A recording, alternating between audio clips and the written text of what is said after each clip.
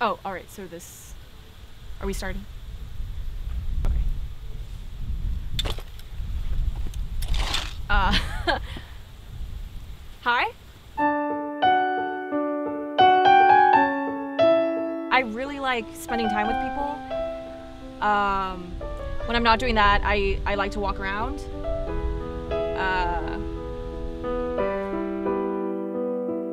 Georgina's Rocket is a children's book that I wrote. When Renee got super rich. Oh my god, stop!